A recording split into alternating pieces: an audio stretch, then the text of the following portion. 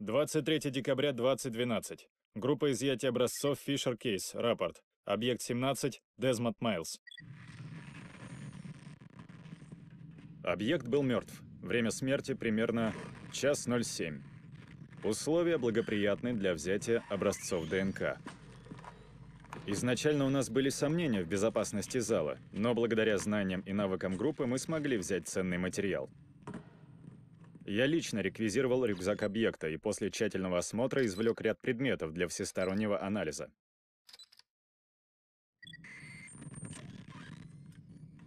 На правой кисти объекта ожоги высокой степени. Кость обуглена, что указывает на спонтанное воздействие высоких температур. Если честно, такое мы видим впервые.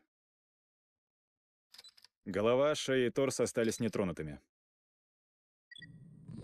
Я лично выбрал агентов для изъятия образцов крови и слюны. Затем мы начали извлекать материал и сумели сохранить несколько хороших образцов. Мы уже начали анализ и сортировку данных, которые идут исключительно легко. Благодаря облачной базе данных и третьей группе изъятия образцов Абстерго, объект 17 продолжит существование как образец 17.